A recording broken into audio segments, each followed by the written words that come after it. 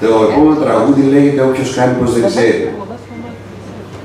Και γράφτηκε και αυτό περίπου το 13, εκείνη την περίοδο τη, τη μαύρη, όχι ότι τώρα ασπρίσανε οι περίοδοι, αλλά εκείνη την περίοδο που σου λατσάρανε οι τύποι εκείνοι με τα μαύρα τα μπλουζάκια και τα τη Σφίχτερμαν, ας πούμε, και κάνανε μαγκές και σε όποιον είχε άλλο χρώμα την πέφτανε.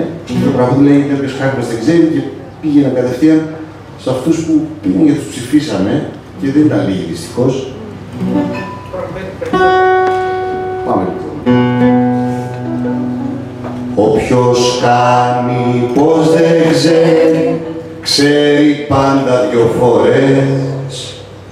Όποιος θάνατο γυρεύει, δεν το γνώρισε ποτέ.